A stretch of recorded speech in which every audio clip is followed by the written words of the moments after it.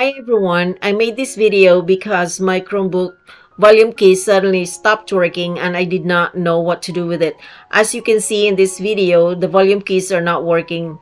Uh, I can use the mouse to adjust the volume of the video and put it on mute but not the volume keys. So I searched so hard over um, Google and uh, YouTube but I cannot find the answer. It took me a long time to find out by playing around with the settings on my Chromebook. So this video is to show you on how to do it just in case you have the same problem with me and it might work with you. So first I went to the setting. It's on the lower right hand corner of the Chromebook. You just press that one and then go to the settings and then on the keyboard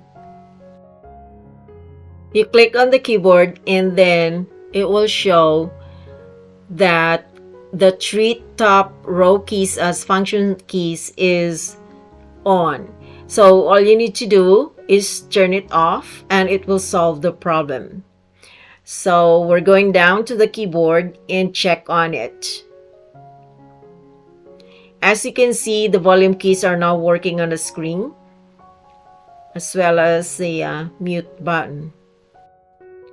I hope this video will help you solve your volume key problem as well.